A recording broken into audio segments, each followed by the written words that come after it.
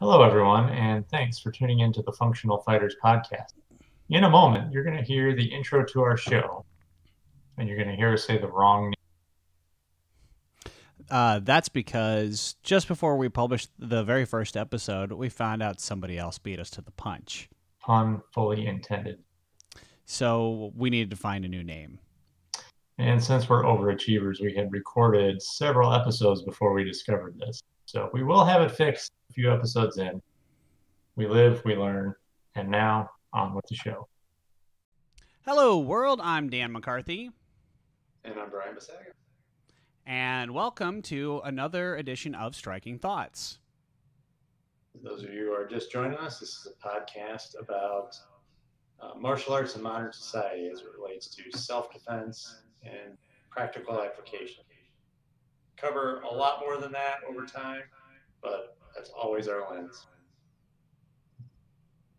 Yeah, so today's topic in particular is we're going to talk about martial arts traditions. Um, and what we want to look at is are some of these traditions good or are they bad through that lens of, of self defense and, you know, modern day aspects? Some of them uh, very well might still uh, have value to the modern day self defense practitioner, and some of them just might be dumb and it might be a little bit fun for us to look at and just kind of see, you know, where did they come from and why are we still doing them.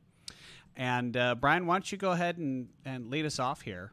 Absolutely, yeah, it's a big topic. I think this kind of touches on a lot of just where society is at in general in terms of what what from the past is good and what from the past should stay there, and um, and and we'll have a lot to say on that, I'm sure. So I'll throw the first one out. I think when when I think of martial arts traditions, the first one I think of is bowing, right? So we come in. Different schools do it differently. I know uh, a lot of schools you bow to come in, you know, onto the mat. You bow to the instructor. You bow to your partner. You bow out at the end of class. There's uh, just a lot of bowing going on. So, what do you think about that one, Dan?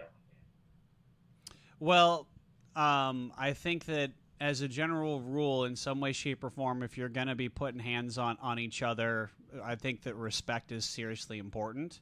Um, I also think that if you have self respect and you have respect for other human beings, you're probably less likely to end up in a street fight.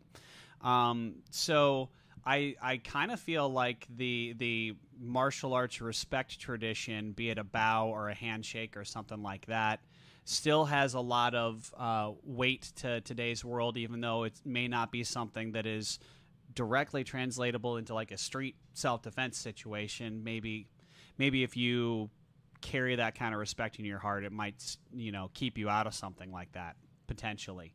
Yeah, you know? sure. That's an excellent point. I think it, it certainly can. You know, bowing is certainly a sign of respect and uh, you know ultimately beyond that, I think is a sign of commitment, right? Like it's a contract between you and your partner and you and your instructor in terms of what's about to happen, right? And how yeah. you're going to treat each other, how to deal with each other. I think, in my opinion, I think there's even a more valuable aspect to bowing than that. And I think it it's a mental cue, right? It's a focuser, right? So it's um, you know you bow on that mat or you bow at the beginning of class to your instructor that that's like your mental indicator that all right you know social time is over focus time has begun. Right, right? it's time to really get into it. Yes exactly. And uh, it just gets you helps you if you're using it in that way right it helps to get you into the right um, mentality to train and train safely. Pay attention to what you're doing. Um, you know, martial arts class has always been a social thing for me. I mean, like, I made a lot of, I said in one of the previous episodes, you know, I made a lot of great friends, lifelong friends through the martial arts. And, uh, and so there's definitely a social aspect to it, but that's not those 45 minutes or hour or whatever it is that you're on the floor with your instructor. Bowing tells you when that starts and when that ends. That's a really good point. That is, that's a very good point. I like that. Yeah, I think um, it's one of those things you can kind of take with you outside of the dojo too. It's like a little, you know, um, you know necessarily going to uh, bow to your work computer or, or whatever it is, you know, bow to your uh, your vacuum cleaner or whatever. But you can use the same mental cue, right? Like, all right, I'm going to stop, center myself for one second, and now it is time to do, you know, X, Y, or Z, whatever it is I'm, I'm working. You know, uh, one of uh, a, a, mutual acquaintance of ours, uh, a former instructor of both of ours, I'll, who will remain nameless, um, used to say the same thing about like putting on the uniform and the belt, which I'll I'll just kind of segue into that part of martial arts tradition here is he, he, he said the same thing about training with a uniform and a belt gives that focus, that ability to realize, okay, well, I'm putting on my, it's like I'm putting on my work clothes, time to go to work.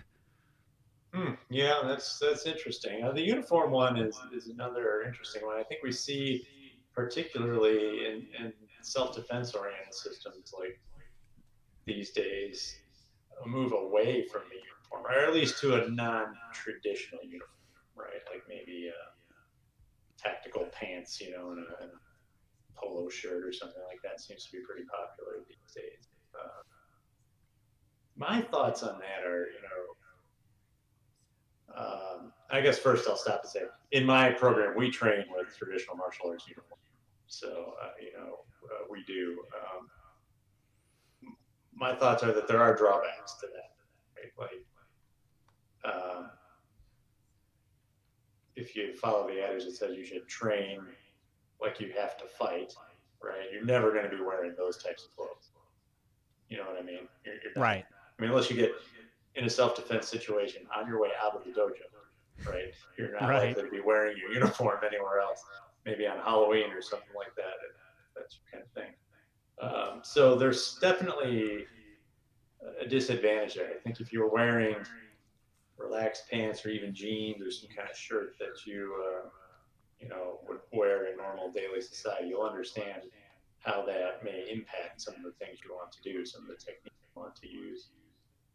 Um, so for me, I could kind of take or leave uniforms. Uh, now, the one major advantage, and reason we still use them um, is we do a lot of like grabs, grappling, uh, attacking the clothes, and our students have traditionally been pretty well mixed. And like your average polo shirt or t-shirt, uh, you, you, will see a few of those ripped off of people in, in general training in our system. You know, and uh, we've got like you got a mixed group of people, you have men and women training together. Uh, it's, it's not great to be ripping t-shirts off of everybody. So you put a gi on and you got something nice and sturdy and you can train with it.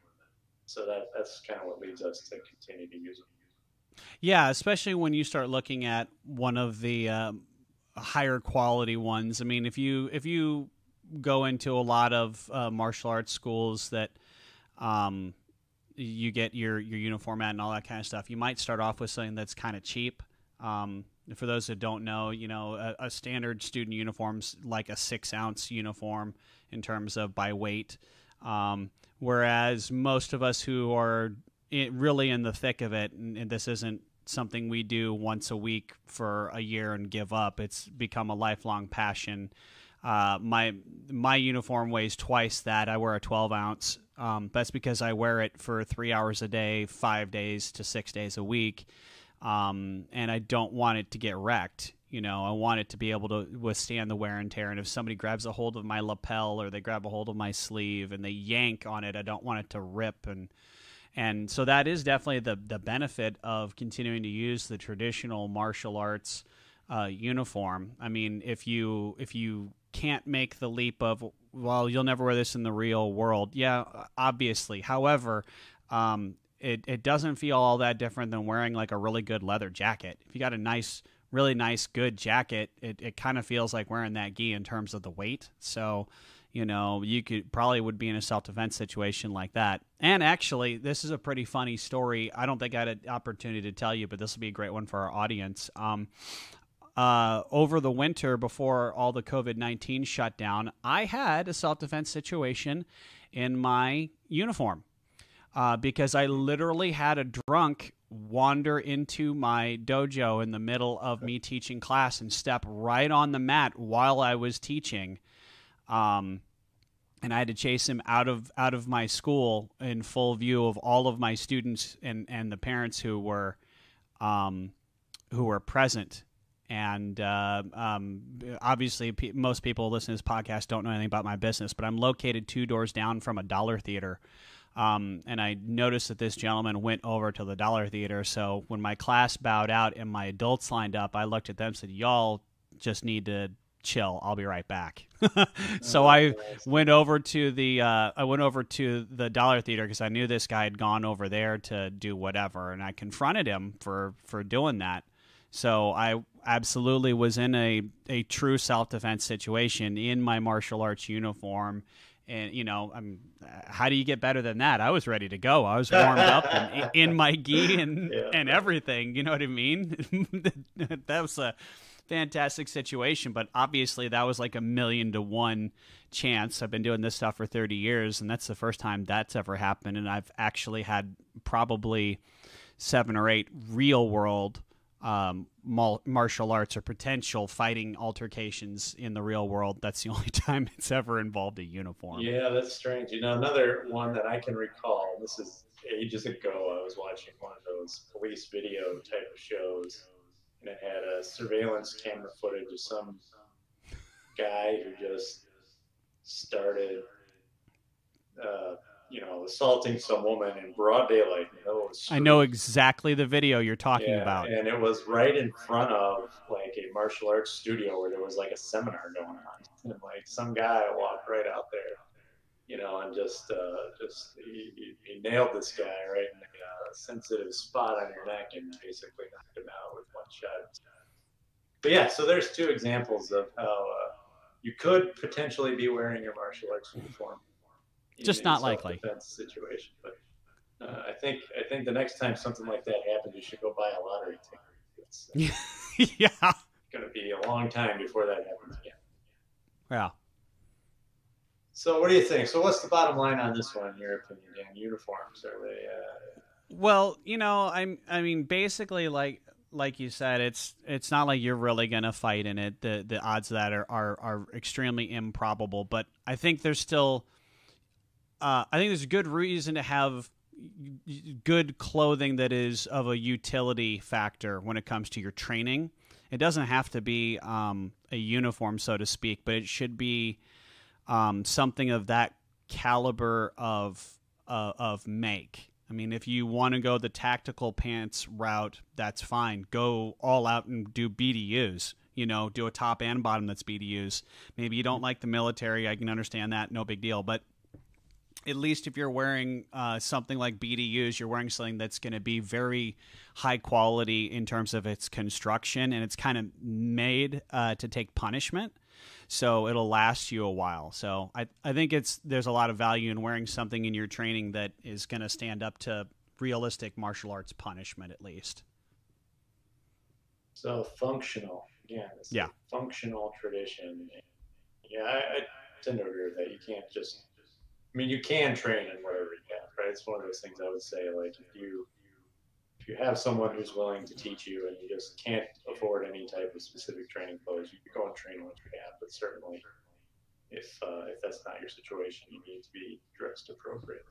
So, uh, tangent to this one, though, what what do you think about the belt, traditional martial arts belt?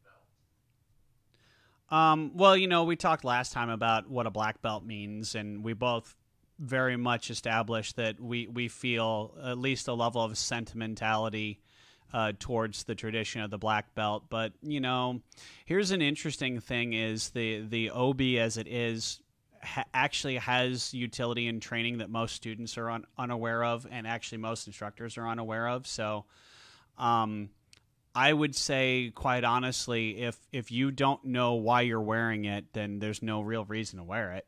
Um, again, like a uniform, you're not going to walk around with your black belt on, or your blue belt on, or your purple belt on, or or whatever. More than likely, um, so you know, it, it does it. It serves a great function within the classroom, but is it in any way, shape, or form really have any relation? I mean, okay, even in our curriculum, we've got belt grabs, right? We've got actual yeah, self defense techniques against belt grabs. And what I explain to students is the belt grab is you got to look at it from the right context. I mean, somebody's not going to grab your martial arts belt out on the street. It's we're simulating something else. Somebody's grabbed a hold of the front of your shirt, or they've grabbed a hold of the the front of your pants. You know what? And students always ask, well, why would somebody do that? I don't know. I, it doesn't matter why. What matters yeah, is that if happen, it has right? happened, you know, stop caring about why they're doing it and start focusing on if if somebody happens to do it, then know how to deal with it. Is it unlikely? Sure. It's just as unlikely as somebody doing a cross side inverted wrist grab. People don't usually grab each other like that. However, we do have one or two of those that we teach, and we only teach one or two of them because that's all you need to know. It's not like when somebody throws a punch at you and you should know 20 different ways to deal with a punch. It's a good couple of good examples there of, you know, uh, the difference between techniques and principles and tactics and strategies, right, that you're learning throughout your martial arts career. And I guarantee you, listeners, we will talk about that in another episode. Um, yeah. Yeah, I think, you know, I guess I'm looking at belts from a whole different, uh, a whole different standpoint than just even the utility in the martial arts. I think, you know, again, most martial arts training programs in, America today, anyway, being commercially oriented, um, and a lot of society being reward driven, you know, I, I, think the belt has an important aspect in that, right? I mean, it gives you something as a student to strive for, right? Yeah.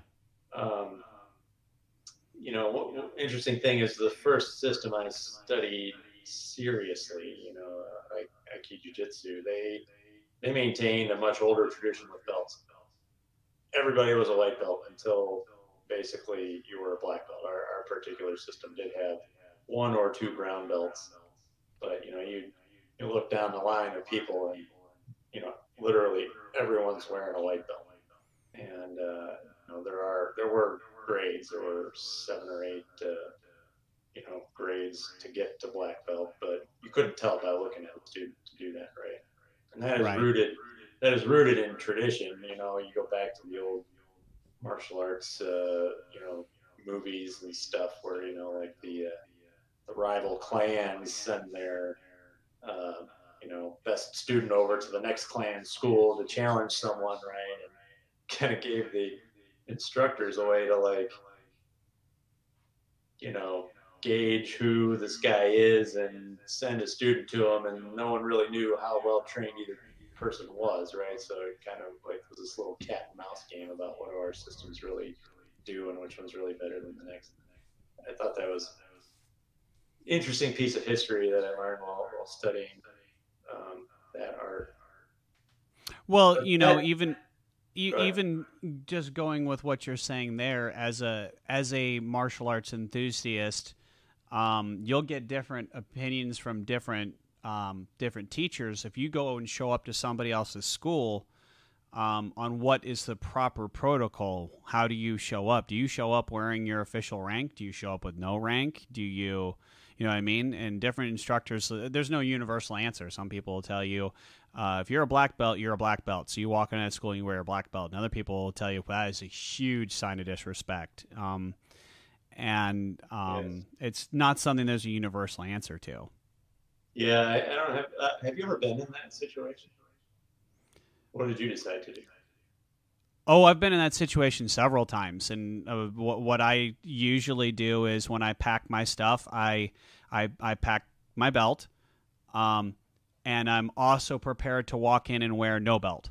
Mm-hmm. Um, I'm perfectly fine with walking in and wearing no belt. Um, so if if the instructor crooks an eyebrow at me like, "Where's your belt?" then I can put my belt on. You know what I mean? Um, that's that's easy, and I don't mind checking my ego at the door like that. But um, if if I don't have that kind of shorthand already established with the instructor, I'll walk in with no belt on and have you know my actual rank in my in my duffel bag, so that if he's like, "What are you doing? Put your belt on," then I'll I'll go put my belt on. But I think that's a nice way to make sure I don't really offend anybody. Yeah, um, I um, I always wear a white belt when I when I go into someone else's dojo if, I, am going to train. Uh, I don't know why I decided to do that, but I always just felt like that that is the rank that I hold in their system. So that's how I want to represent myself to them. And yeah, I think is doing the same thing with she's she's taking the a weapons program at a, a local school that's not ours here, and uh, she's doing this. I, I think it's always good to err on the side of caution when it comes to potentially offending somebody who you are expecting to be able to teach you something. yeah, I don't know, like if you would consider ego a, a martial arts tradition, uh, but certainly it has been uh, a big part of martial arts history forever, right? So uh, maybe we should leave that one chalked up to another show. But yeah, it's a good time to that's a good time to leave your ego at the door. And I think someone might argue that against belts in general is like, you know, is there does it set up a hierarchy that doesn't need to be there? Um, and I have seen programs where it's like that right? Where the level of respect you receive as a student from the other students appears to correlate to how high up the belt chain you've made it. That right. that is not a function of the belt system. That is a function of the instructor and how they run the class. So hundred percent. That yeah. that comes from that comes from the top. If you if you have uh, and it actually i think that probably leads into one of the other ones we, we discussed for today which is kind of the idea of the uh, the the cult of personality in the school you know you're you're expected to do things for your instructor or you should be uh, taking care of things for your instructor do them favors and things like that and that's one that can really get abused a lot um, you know the uh, um, back in the old days um, at uh, my uh, kung fu teacher's school uh, up in in uh, you know 50th and and and Maple up in Benson. Um, part of the training was the students were expected to help keep the school clean. That was an understanding. Once a month, I think, on, if I remember correctly, once a month on Saturdays, um, everybody was expected to clean you, you you you did some little chore that was a part of maintaining the school, um, and that was just an expectation, and that is a um, a huge tradition, at least in Japan, uh, to this day, um, and it's it's not meant as uh, a a method of of slavery. It's meant to be a, a, an act of humility is what it's supposed to be. That's the whole point of the of the tradition of that is it's supposed to keep you, the student, humble, um, and make sure that you remember that you're a part of of this collective. So you should help take care of the collective. It's it was it's not supposed to be about the instructor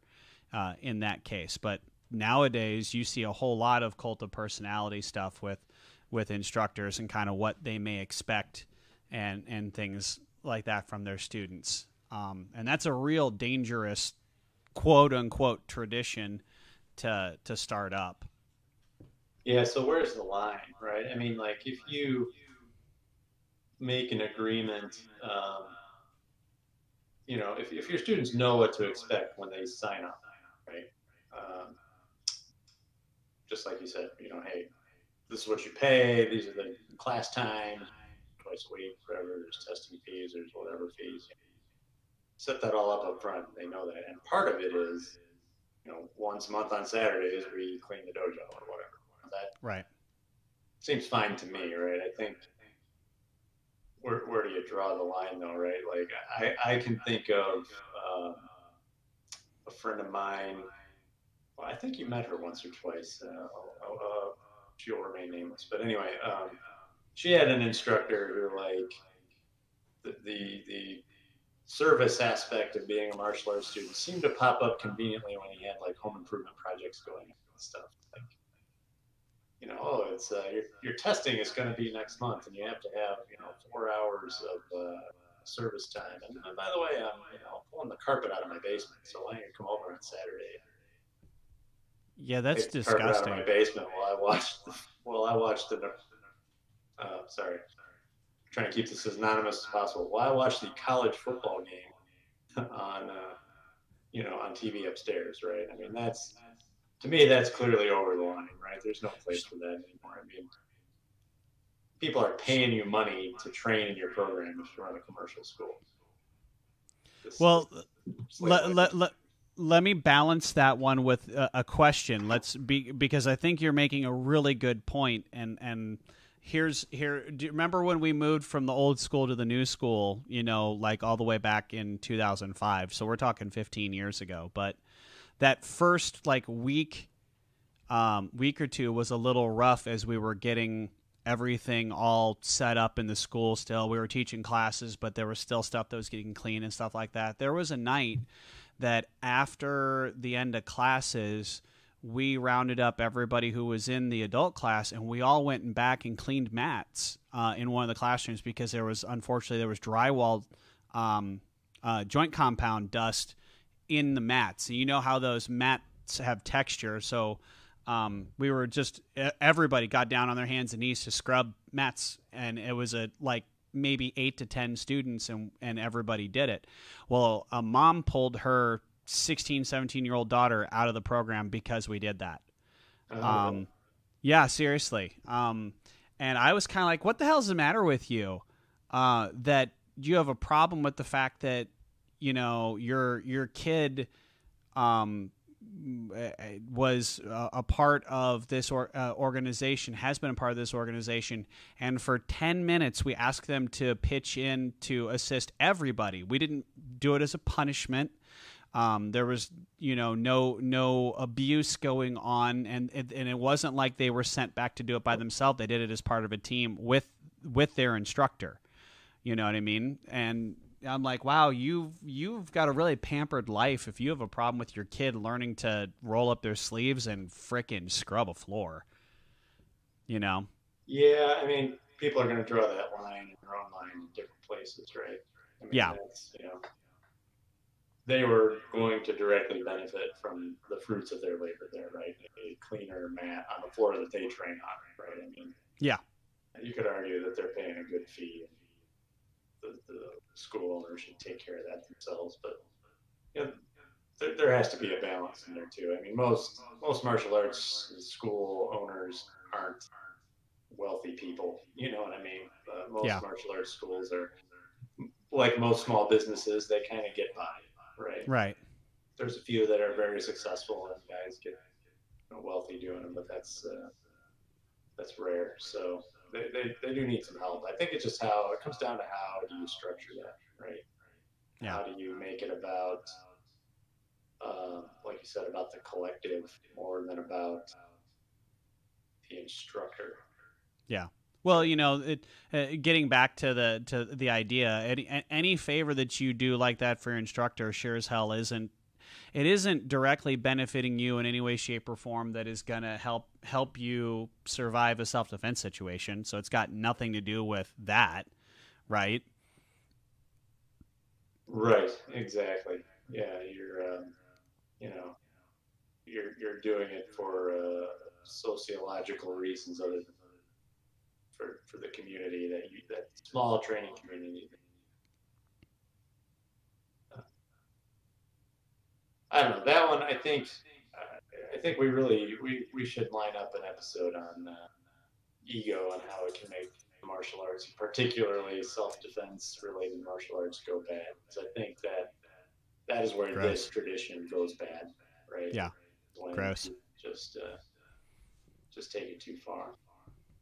Oh yeah. Um, how do you feel, Brian, about um, inner door or inner circle student concepts, the the the whole um, secretive side of the martial arts. How do you feel about that? Oh yeah, so another so one of the jiu-jitsu system I trained in definitely kept secrets. Right, there were techniques that they would not show uh, in a room that had anybody who was less than a black belt. Um, there were also like there were also these weird rules about like like we did stuff in in sets of ten, right? Like we had Ikkyo, the first joint lock, right? There were yeah. ten of them. You know, ten different entries into the thing, all yeah. different punches and grabs, and just kind of you learned all of them at the same time, right? Um, we would never show more than eight if we were training in a place where the public could view. Right. Oh, okay. So, like even a white belt technique, right? Like you come in and we're working on Ikkyo, you know, and a class full of white belts, and like someone is watching who's considering joining the program. We would only show eight. You can't see all ten until you're part of the program. Oh, right? okay. And, and again, I, I, this was all rooted in that tradition we kind of touched on before of like, you know, needing to keep a competitive advantage over some rival clan somewhere, right? Yeah. Uh, the, whole, the, the the whole my kung fu is better than your kung fu. Yeah, exactly. Uh, to me, I mean, where I'm at in my training program, I see no value in that at all. I mean, go on, we got YouTube today, right? I mean, like go go out and you can find everybody's martial arts stuff everywhere. There, I don't I don't think there are very many secrets like that anymore. Um, I also think, you know, the way I teach my program, like I, I, I pick a topic at the beginning of class and we're going to cover it. And sometimes it's very basic, sometimes it's very advanced. It doesn't matter who's in my class, that's what we're working on, right? So, waiting, you know, making someone wait, like, okay, George is black belt, so we can work on this technique, but you're only a blue belt, so you got to work on this other I don't think it does the students uh, any type of service at all. I think you just have to be on your game in terms of how you're going to present that material to someone who's less advanced in the system. I think if you if you do a good job with that, you'll find most people handle it. Um, so yeah, I, for me, secrets, no good. Not a good reason for them anymore. I, I don't keep secrets, but I do kind of have an order of operations and how I maybe critique a technique and how how hard I try to refine it for somebody just because of the simple fact of after um, so long of teaching martial arts, I I have a really good idea of the level of effort that the average student is willing to put into refining something. And I also have a really good idea of how quickly they will comprehend something. So I I tend to disseminate information in a particular pattern which is going to be most beneficial to where the student is at in their particular training. And it's not so much a secret as, wow, you're only a white belt and I already know where your mentality is. So I'm going to give you the information that's going to make sense and that you'll actually take and use, as opposed to telling you a bunch of things that you're going to kind of have your eyes glaze over and you're not going to understand or you're just not going to be interested in spending the time on. Um, and uh, the students who as they continue on and they continue on eventually they'll get all all of the answers to all the questions that i have um, and uh, i'm happy to give it to them it's just a matter of, of time and, and it being clear to me that there's comprehension uh, there and that there's also enthusiasm there. Um, so it's i don't have any secrets um, that i can think of um, if I if something is a secret in, in my school, it's a secret to me too. Um, I, yeah. I can't think of something that like I intentionally hide from anybody. I try to be very what you see is what you get, uh, regardless of who the student is or anything. And just I, I try to you know like okay sometimes uh, you and I both been teaching for a long time, and sometimes uh, a, a, junior instructor will be trying to show a student something, and I'll hang back and I'll watch, and I understand that the student is struggling with what the um, what the un- instructor is trying to get across to them is because the instructors picked the wrong thing to correct. Um, they've um, um, somebody put it to me as as triage, right? What do you what do you want to do when you go into the emergency room? You you look at the emergency room at, at, the a quick diagnostic of all the patients and the first person that you help in the emergency room is the person who is in the worst trouble that can still be saved right? If you were to do like battlefield uh, uh, triage, if you walk in and somebody has a really bad gunshot wound and you know they're not going to make it, you don't make that person the priority because you already know they're not going to make it. But the guy who's next to him who has a almost as bad of gunshot wound that you know you can save, you go to him, right? Right. Yeah. So yeah, right. There's things you right. Fix the first thing first, right? Is another way yeah. I've heard that put, right? Yeah. You know, you just gotta you gotta get to the to the thing that will actually benefit the student with where they're at, and sometimes instructors just are nitpicking the wrong thing. Um, so that's what I would say. It's, it's not so much that I keep secrets as I just I try to make sure there's a good orderly method of of actually trying to help them diagnose what their what their current um, challenge is. Yeah, so I think like we're touching on different reasons why systems may keep a secret, right? Like that system I mentioned before. Yeah. Was worried about uh, you know whose kung fu is better than whose. Uh, you know, you also have to worry about what is a student ready to learn. Um, yeah. And I think that's again, like you said, more about how you present stuff. I, I think there's another aspect that, that's like you know you're trying to keep like you want to keep people interested just like we talked about with the belts right like you're a white belt and then you get a yellow belt and that's pretty exciting. And then it's just you know a short while later you can be a gold belt or whatever color system you're using. In your school you get there's always these little milestones that you moving i think a lot of people uh, maybe i shouldn't say a lot of people i know that some places kind of put their black belts on display right? Like, that side of the class, you know, all we all line up in rank order, and the black belts train over there, and the white belts train over there. Look at the cool stuff they're doing down there, don't you want to get there someday? Like, just keep coming, and then you can do that stuff, you know, at some point in the future, right? Right. So it becomes a way to like, I don't know, like the carrot on the end of the stick, right? Like you're, you know, you're like, oh, keep coming, keep coming to class, and keep renewing your contract, you know, and be here. It's like it's like upselling. Actually, to a certain extent, I, I had a situation like that tonight. I wasn't like putting them on display, but got two instructors on the floor, so we split.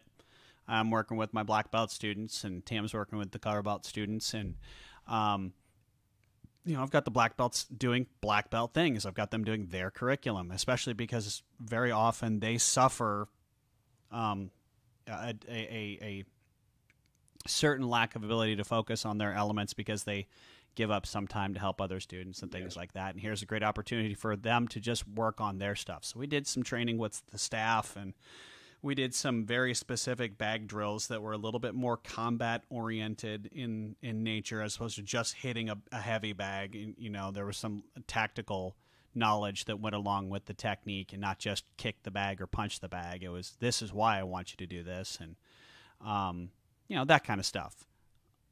Yeah, but you wouldn't stop, or I guess would ask, would you stop a colored belt student from working on a, if you were working on a scenario for your class, say, right, like this kind of attack or whatever, and that's in your black belt curriculum, would you stop a colored belt student from working on that technique? Only if only if it was very evident that they were getting frustrated or they were doing it in a way that was proving to be potentially dangerous. Um, I wouldn't I wouldn't stop them on principle. Um, it would be more of a matter of if if my observation of what was going on was this is heading in an unsafe direction and somebody is going to get hurt, uh, or if it seemed to me that the student was maybe getting really discouraged because it was so above and beyond where they were at, then I would probably take that same skill and I would I'd break it down a little bit lower into well, here's how you can get like the first two steps of this. Don't worry about step three, four, and five, but let's work on just step one and two, and we'll get that first part, and then another time we'll add in step three and step four. Yeah, see, I tend to find that like I, I don't want to keep the concepts from them at any level. Right? Agreed. And and so I guess maybe that, that's kind of how I'm interpreting this question is what am I going to keep secret, right? And, and really, it's the concepts that you need to learn and understand and be able to apply, right? So, do I want to? I want to introduce that. I want to do the opposite. Actually, I want to introduce as many concepts, however advanced as they might be, as early as possible, because some of these things take a while to internalize, right? So. I agree with that statement 100%. When it comes to the stuff that is principle based and the stuff that is is strategic in nature and principle in nature. Those are the things that I care about the student understanding more than actually the technical aspect because technique will come through time if they understand the principles. Yeah. So um, let's segue that into one that that's interesting to me um, is kata, right? Ah, I was waiting for that one. Yeah, I um, so I I got a lot to say on this. Yeah, I, you know, I'll tell. I'll be completely honest with everybody. I don't think I know a single martial arts kata. I'm, in fact, if I ever knew one, I have completely flushed it from my um, yeah, to me, uh, they're they're not in the programs that I've studied. I just don't. Uh, I don't say they're valueless. Um, I don't know that they technically qualify as a martial arts tradition, but um, I, think they're overused in self-defense systems. I think they're used as a. I think sometimes they're used as a way to uh, convince students they're working on self-defense type of things, even though they're really. I like how you put that. I think that was very even keeled uh, in terms of an assessment. Um, and obviously, uh, I've been doing uh, kata the entirety of my martial arts training. I started in Taekwondo, so um, you know, I love to throw out to students that I, I still to this day I, I still teach it, but I I went a good probably 15 years without practicing the first kata that I ever learned, but it's that simple and that so ingrained that you could wake me up out of a dead sleep at three o'clock in the morning and scream at me to do Taikyoku Shodan, and I could do it flawlessly, or at least as flawless as you know a human being is possible. Of the stance would be there, the strike would be there, the block would be there, the turn would be there. Um, and you know, I actually really love kata. I love I love kata in in many different aspects, but I'm a huge huge nerd about this stuff. So I'm in a state at this point in time in my life where I actually like to research kata, um, in, in, in like the same way that you might do Bible study. Um, so I uh, the the the thing that most people don't understand about kata okay and here's here's the problem with it where where people really kind of lose it is they they look at kata and they automatically assume because they don't understand it that there's nothing of value that's being taught in there and that's arrogant as all get out. Um, that is a, such an arrogant statement to look at something that's been passed down for um, anywhere from 50 to 60 years to 3 to 400 years and and say, well, there's no value in that. No, no, no. You're just not patient enough to figure out what the value is. Let's let's call a spade a spade. Um, the other problem is is that many of the uh, kata have been changed so much over the years, uh, specifically because of competition. Um, and and what has happened to the martial arts in sportifying it in about the last 120 years um, that that's had a huge impact on kata um, but the fact of the matter is, um, most martial arts instructors who are teaching kata teach it as um, they the it's like having an A section of your curriculum and a B section of your curriculum and a C section of your curriculum and A, B, and C only marginally relate to each other if at all. Uh, and that's where kata becomes a problem because it, com- it becomes wasteful because it becomes an exercise where the only point of the kata is to do the kata.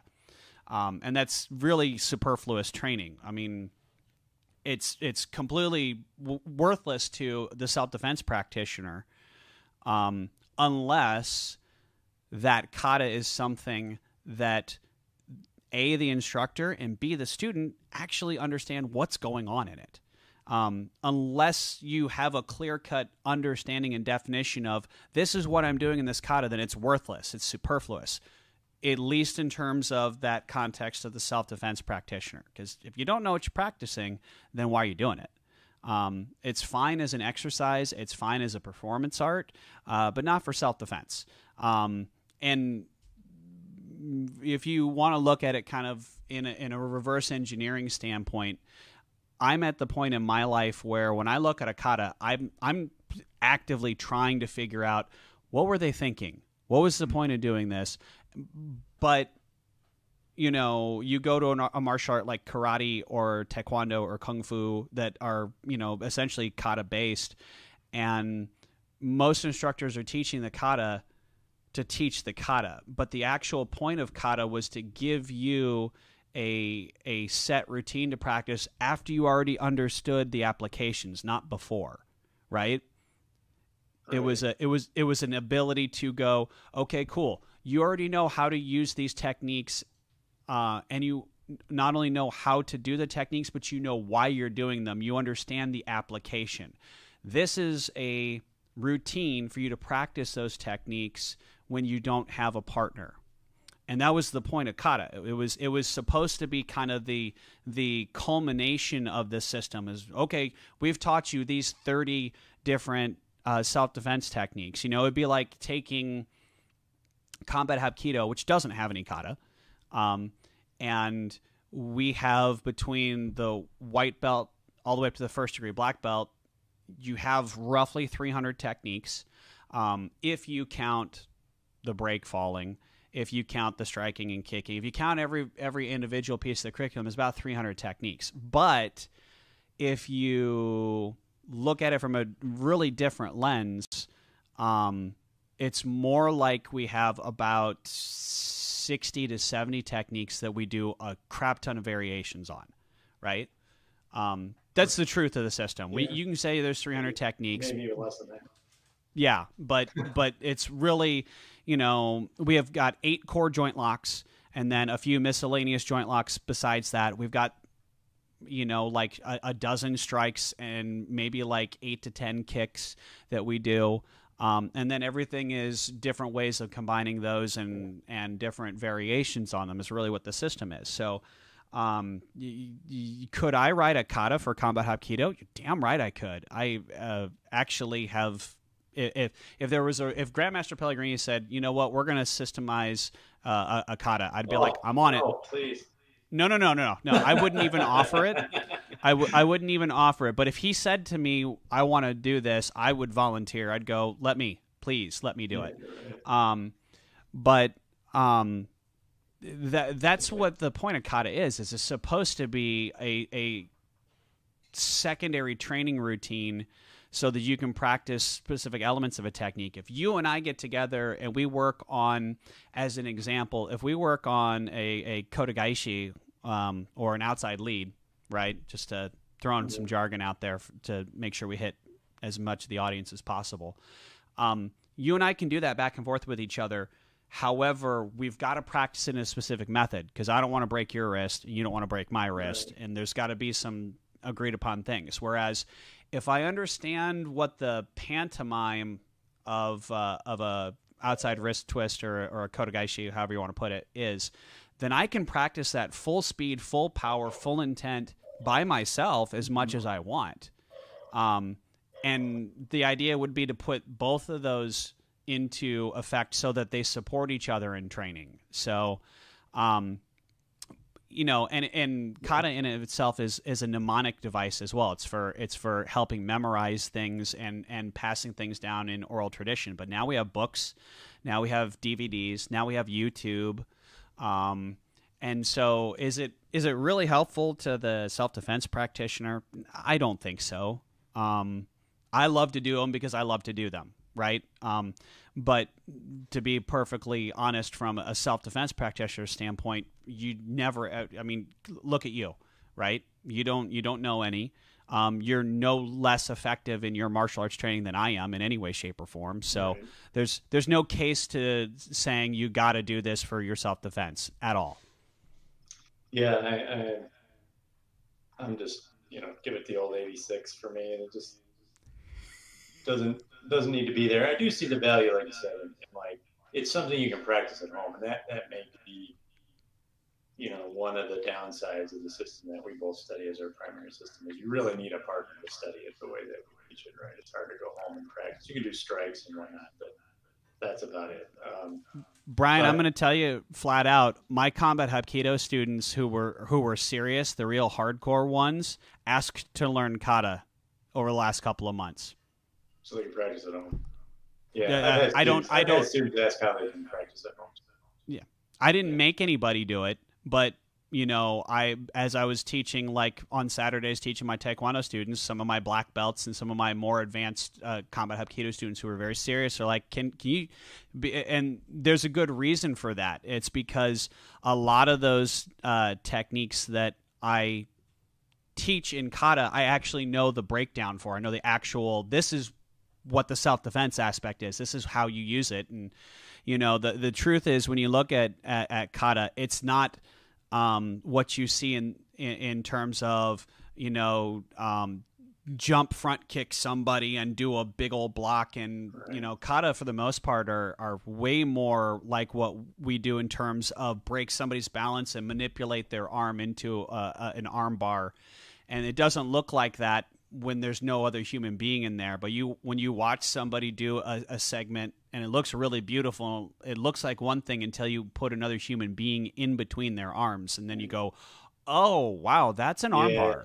Yeah. And that that is just missing from most instructors' presentation of kata, right? I mean, I look at my daughter; she's in, in a program here, and the school I, I think is is you know a pretty good school. I don't want to put down the school that she's in. It's good school, otherwise she wouldn't be there. But like she's in the youth program, and you know she's got like a form that's can't remember what it is 172 steps long and like it's great memory exercise but yeah, it's probably very useless. Yeah and you know they're like oh it's like it, it you know, it's a multiple attacker scenario and all this stuff. It just it's it's missing the point. It's teaching something else. It's teaching them how to you know learn a complex sequence of events it's not right. teaching them how to do self-defense right right. Kata's never Kata's never more than than one attacker. It's right. never more than one attacker. It's always one attack. At least at least in the traditional sense. Anything that was anything that was written before the 20th century, yeah. it's all one attacker. There's right. never multiple attackers. I think uh, you know again. I don't know how much more we need to say about, or how much more I have to say about this one, but I, I just uh, think they're they're if you have a system that doesn't have, you know, if you have a self-defense system that has them, you just need to be careful about how they're presented, like you were discussing before. How much of the pie is that, right? Um, yeah. It's too much. You're probably learning the wrong stuff.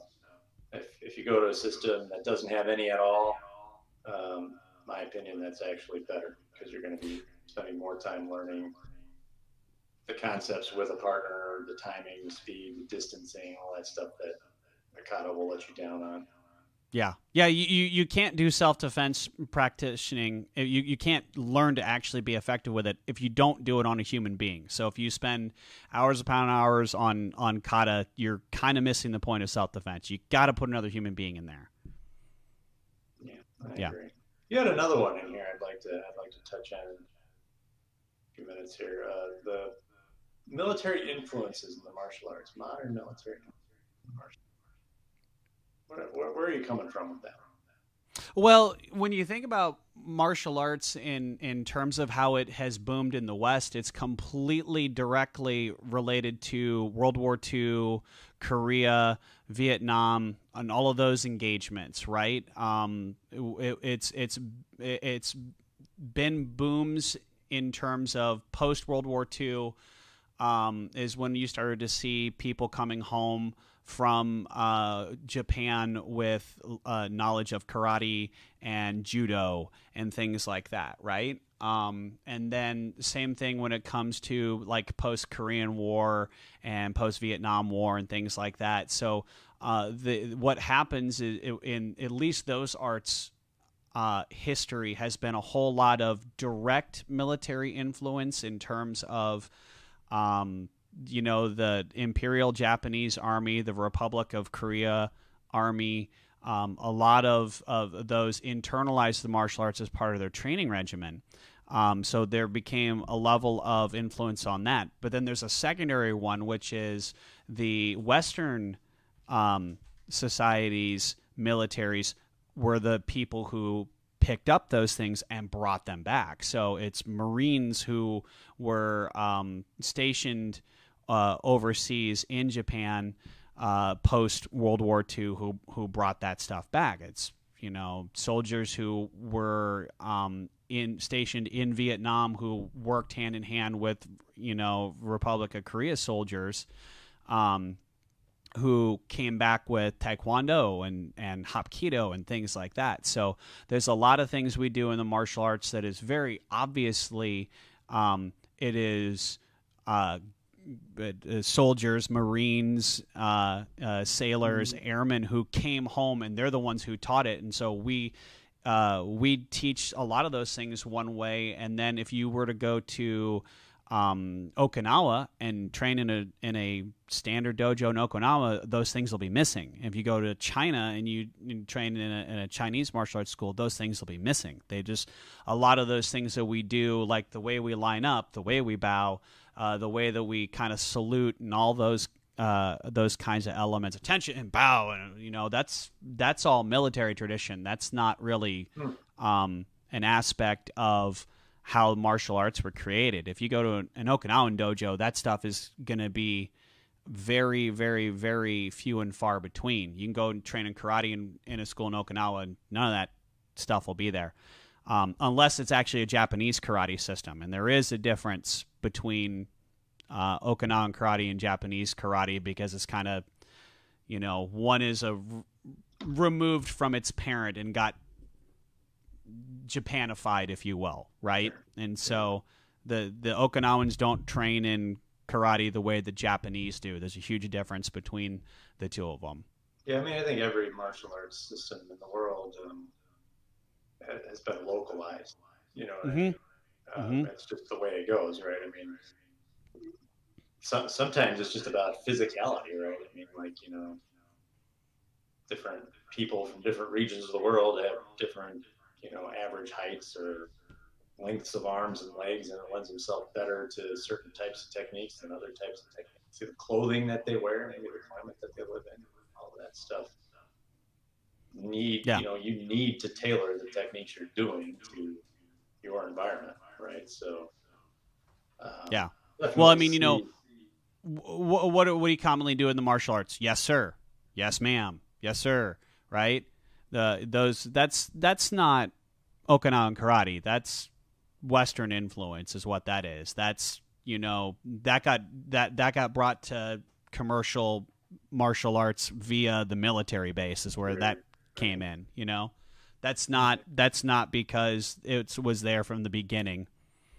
See, what I was thinking about when you brought this topic up was like rules of engagement, right? Like, what is the situation in which you're applying these skills? And certainly, that's very different if you're talking about a military background than if you're talking about the average civilian life. And, uh, and that's a huge difference. Yeah, and that's probably another entire show that we could do. Uh, there's a lot of ground to cover there. I, I have seen some things um, that people get taught, you know, that, that, civilians like us are taught that are just like, God, you're, you're making a monster. You know what I mean? So. Yeah. Well, you know, let's just throw one out there. Eh, you know, every every decade has its martial arts fad. Okay, for those that, that maybe don't realize this, you do this long enough, every decade has one or two martial arts that become the new big bad kid on the block. Like nowadays, it's Krav Maga, right? Um, yeah. That would be the and uh, Krav Maga, of course, uh, comes from uh, Israel and was a martial art created by the military. Um, and so it is um, it is very much intended for battlefield use and close quarters combat in real um, actual combative situations. So it's no fuss, no muss, no nonsense. And teaching that to a civilian um, can uh, be very effective, but it also could really easily end up with you in the courtroom. Um, yeah. So that'll be something we'll talk about in the future in terms of this podcast. Is is how do you balance your techniques not only so that you can be effective uh, and go home at the end of, of the fight, but you also don't end up in jail. Yeah, absolutely true. I think, you know, one of my previous instructors, you know, he, he put it put it in a way that stuck with me, you know, like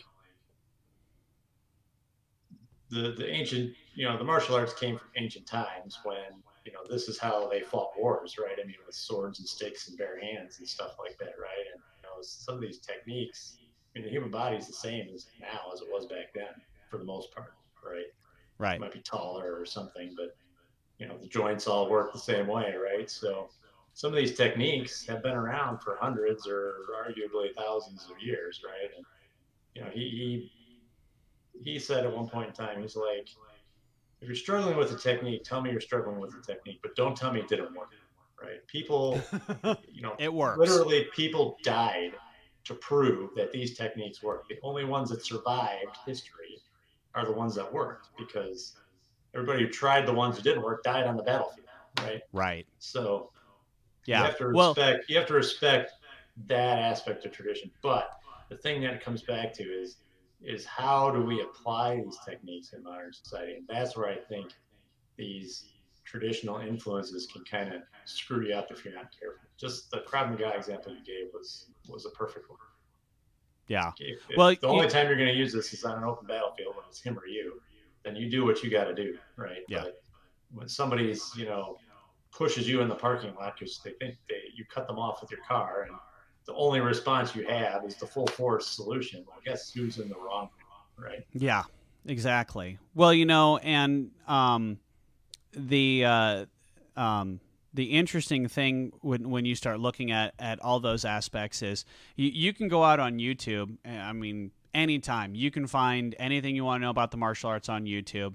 And one of my favorite things to point out to students when it comes to the internet is any idiot can post on the internet. Okay, I mean, right. no offense. This this this might be proof of it right here, right. quite honestly. but uh, you know, it doesn't take a lot of skill. It doesn't take a lot of money. It doesn't take a lot of experience to post on the internet. You know, so anybody who's listening out there, if you think I'm an idiot, you might very well be right. Okay, but it's it's this simple. Uh, if you had to, uh, 40 years ago, if you were writing a book, then um, somebody put some money right? Somebody put some money down to have that book published. Whereas I can write an ebook tonight and post it for free on the internet and anybody can have it. And it doesn't make me an expert. Um, you know what I mean? So there's a great video on YouTube of some guy who's debunking joint locks. The only problem is that anybody who actually knows how to perform the joint locks can look and go clearly. This guy doesn't actually understand how they're done to begin with. You know, if if you don't know the mechanics of how the technique is is working and you're doing it wrong and you're having the person who is doing them to you is doing them wrong, well then of course you can easily de- debunk these yeah. techniques. But you, you, you know, give give Go ahead. So, sorry step on you. You see a lot, a lot with pressure points too. People yeah. on both sides of that argument. They're the best thing since sliced bread. To they, they they're not even a thing at all. Right. Right. It really comes down to do you understand what you're doing, and then the situation in which they can be used effectively. Right. So. Right. Yeah, you got to understand the technique well enough to use it, and B, you have to know the right time to use it. All right. Well, we could go on on this topic forever. Maybe we'll do a, a part two of, part two. of uh, martial arts traditions some point in the future. But for now, I think we're going to wrap this one up. Um, thanks again, everyone who's listening or watching, for uh, participating with us. If you think we're idiots, please like the video. If you think we're not idiots, please also like the video. Uh, whatever you can do helps us out leave a comment, star, whatever system is in front of you, please do it for us to help us get a little bit of uh, promotion going on. If you um, like, if you think we're idiots, like the video. But if you don't think we're idiots, please share the video so other people know that we're not idiots. You could share the video even if you do think we're idiots. You could tell all your friends to come and watch these idiots. it's uh, it's the old attitude: uh, no uh, no press is bad press, right? Um, we're also not ashamed uh, uh, to uh, make fools of ourselves. So bring it on. Um, so again, we're uh, always looking for questions or comments, um, topics you'd like to see us discuss in the future. Please leave those for us. We'll we'll, uh, we'll try and work them in. Uh, and with that, we will see you next time when our uh, discussion will center around um, strategy versus tactics versus principles versus techniques. Uh, what, how do all these things fit together to make a martial arts system? It's going to be good. Take care, everybody. Thanks.